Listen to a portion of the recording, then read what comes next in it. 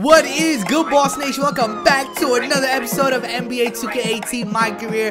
Today, we are officially kicking off the NBA playoffs, and I cannot wait. The moment is here. We are taking on the Sacramento Kings in round number one. In the last episode, I did show you guys the playoff tree. If you missed it, here you go.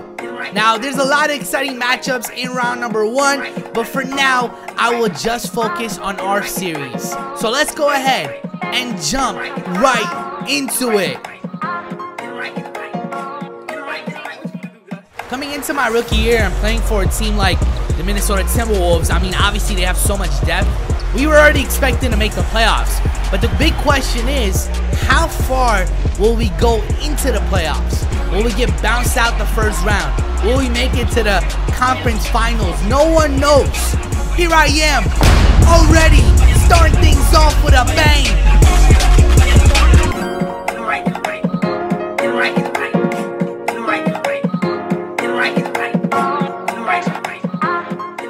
We're gonna go ahead and jump into the second quarter. You guys see so far having a pretty all-around game. 13 points, 5 rebounds, 4 assists. Jimmy Butler with the pass. Are you kidding me?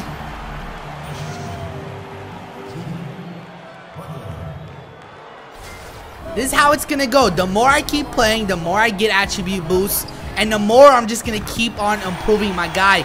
Like, wait until I max out the posterizer badge that he has. Currently, I am on bronze, and I'm already putting dudes on posters left and right. So imagine when I get that badge to a gold or a Hall of Fame. De'Aaron Fox right here gets blocked. Gets it right back, puts it up. That was well contested. Here I am on a fast break. Getting past him. Dunking over Buddy Hield. I'm doing it all in this game. That was just simply the type of day that I was having, and it continues here in the fourth quarter. We were simply unstoppable in my first game. We were able to win 94 to 86. You guys saw I recorded a triple double, 36 points, 13 rebounds, 12 assists. George Hill had a big game for the Kings, but obviously for De'Aaron Fox, he had zero points shooting, zero for six. Here's an update on how the playoff tree looks. Let's not waste any time and jump into game number two. Game number two, the struggles continue for the Sacramento Kings. As you guys see, we were able to win 84 to 69. We were simply dominating in our home arena. Are you kidding me? Look at that dunk.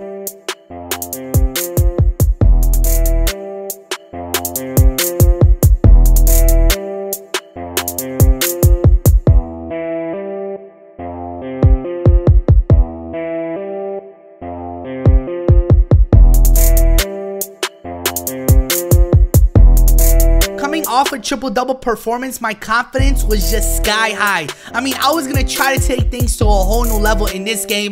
Obviously, my stat line wasn't similar. I did a little worse, but overall, as a team, we came together after game number one. And like I said, we continued dominating in this one. I don't think there was a moment in this game that the Sacramento Kings had a lead or even close. Once again, you guys see my ankle breaker badge has been so effective and I'm actually surprisingly am able to knock down a lot of threes, which is like my weakness. So for me to be able to actually knock down a lot of shots from the perimeter, oh man, it's gonna be dangerous for the opponent. Man, I hope you guys are enjoying this video so far. If you are, make sure you give it a thumbs up. Also, there's a link in the description to the full playlist so you guys can catch up on any episode that you have missed. Let's go ahead and officially jump into game number three. Game number three doesn't get any bigger than this for the Sacramento Kings being down 0-2. This is a game that they have to win, so it helps them that they are at home. But like I said, if they lose one more game, I would think that things are going to be over for them in this round of the playoffs once again.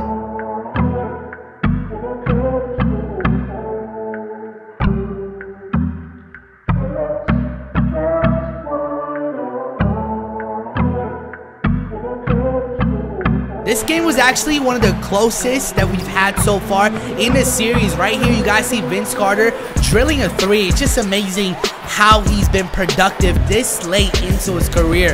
And honestly, Sacramento Kings, they woke up. Being down 0-2, they knew they couldn't afford to lose this one here. And I just got to give it to them, man. They came out here fighting, and just like that, their season remains alive. They were able to beat us 91 to 78.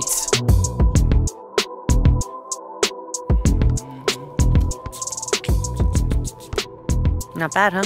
I could get used to it. Yo, we could get used to this. Now, this isn't set in stone. We've had the best designers in the world working on it, but it is your shoe. So you get final input on everything colorway, construction materials, design, the works. It is your shoe. This is amazing, bro. This whole deal is amazing. Hey, look, I'm gonna need you to be 30% less emotional, 50% more. What about my money, all right? Get it together. Hey, hey, hey. I'm way ahead of you, brother. All right. What about his money? Yeah, what about his money? New shoe, new contract. As one of our featured athletes, he's going to be getting paid like it, like I told you before. Great. And, uh, and he gets a commercial. Can I get a commercial? Do we get a commercial? You get a commercial. Woo! We actually already have some ideas brewing, but it's just the beginning. There's a lot of room to move here. Just the beginning. Guys, I am so happy because you guys know recently I got my player editions when we customized the Foamposites. You know, I made them all gold.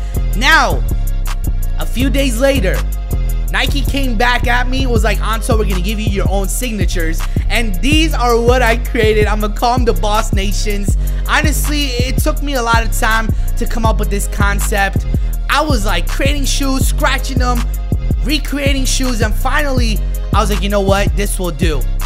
I was limited to what I could actually create, but with the template that they gave me, these are gonna be my very own signature Nikes. It's a blessing. Here in my rookie year, I'm being put on Mountain Dew cans, cereal boxes, and now I have my own signature shoe. Isn't that like a record for how fast? Actually, no.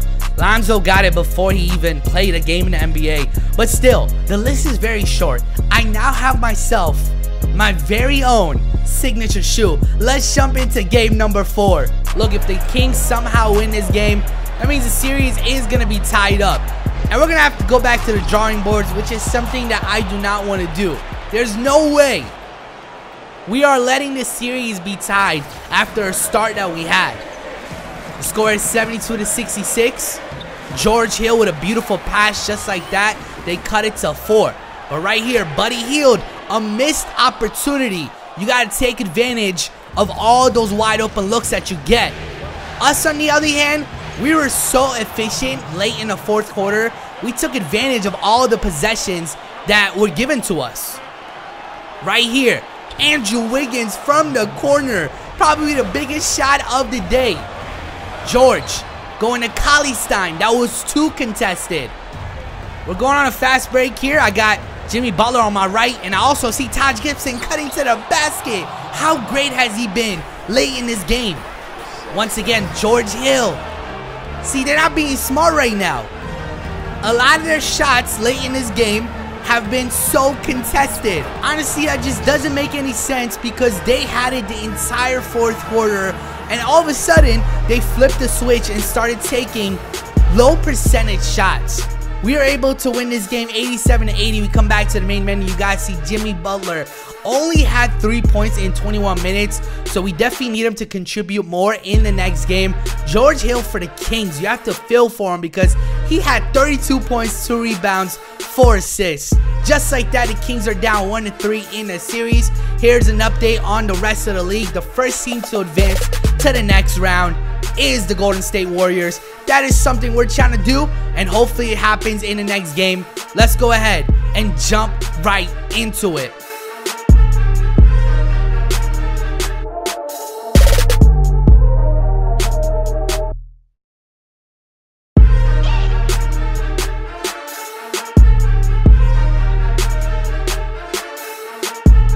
Jumping into game number five, and honestly, like this is a big one for us because we're trying to end this series early because we need as much rest as we can in order to make it far in the playoffs. As you guys see, George Hill, a rare turnover for him, and someone who was quiet in the last game comes up big for us here in the first quarter with a beautiful one-handed slam.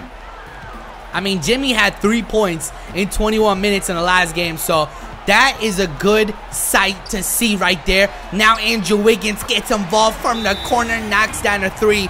Just like that, we take a pretty good lead. But the Kings were not going anywhere. Right here, you see Bogdanovich knocks down a big one as well. Just like that, we're going to jump into the second half, and we have a pretty close game.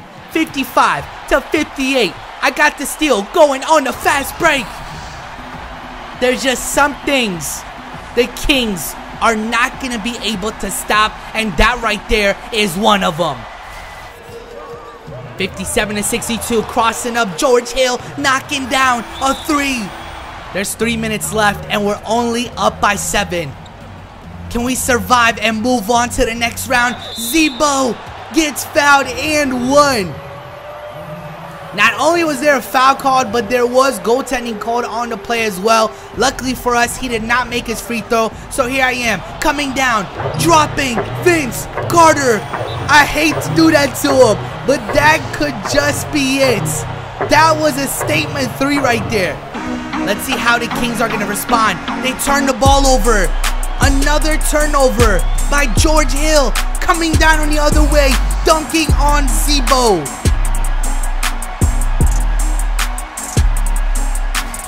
Have no words. I don't know what to say. Right here, wide open look from Garrett Temple. He couldn't knock it down. I mean, just by the body language of the Sacramento Kings, you can tell they're already defeated. And the icing on the cake, Shabazz Muhammad knocks down a three-pointer. Once again, Garrett Temple comes down here and misses another great look.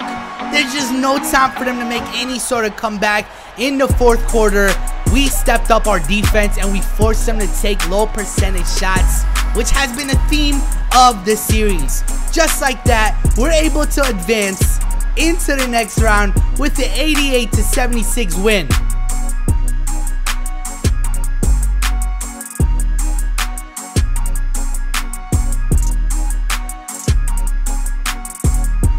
Alright, the big moment who we're playing in the next round. You guys see we are taking on the Houston Rockets. The Clippers ended up beating the OKC Thunder. That's interesting because imagine if the Clippers end up beating the Warriors and playing the Rockets because that is obviously the team that Chris Paul is now on. Over on the East, the Bucks did advance as they beat the Magic 4-2. Cavs are moving on, no surprise there. Philly actually was able to beat the number 3 team in the East and they will be taking on the Boston Celtics. So that is it. I'll see you guys on the next episode. Continue being amazing people. It's your boy, AntoDaBoss. I am signing out.